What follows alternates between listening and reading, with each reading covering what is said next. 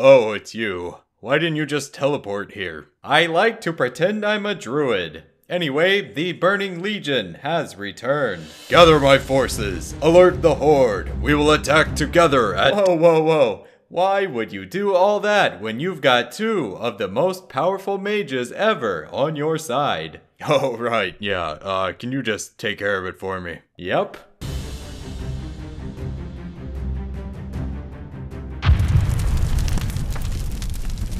That was fun. Still rocking that air cello.